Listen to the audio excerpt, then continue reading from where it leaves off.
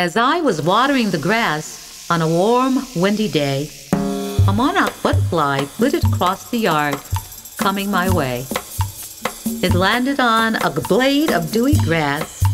I watched it, and as time passed, it cooled itself in a puddle of water there. I spoke to it and said, How are you today? The sun glistened on its geometric orange and black patterned wings. Then it heard my voice as I spoke. It fluttered near my face so lovingly, and I felt its suave, tender, wispy embrace. It came nearer, fluttering at my feet, encircling me in a mosaic like wreath. I was transfixed and in a daze.